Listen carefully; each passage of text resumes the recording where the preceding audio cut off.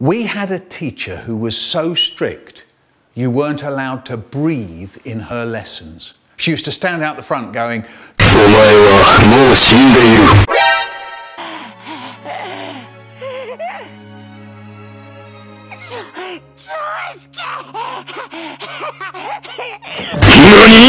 No breathing! And you had the whole morning to get through.